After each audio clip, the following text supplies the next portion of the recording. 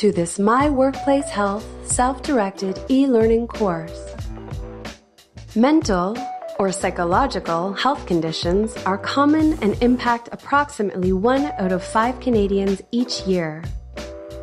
Although mental health illnesses can become serious, it's important to remember that effective, evidence based treatments exist. Through this course, you'll become familiar with the most common mental health conditions and treatments and better understand the signs and symptoms that indicate a need for support.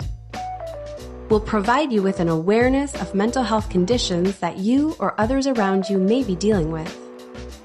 In the first lesson, we'll define what psychological or mental health issues are.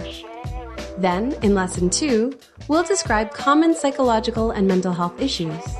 Lesson 3 will look at signs and symptoms of mental health conditions. And finally, in Lesson 4, we'll find out about some treatment options.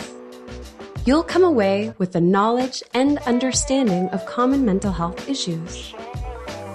Now, let's get started.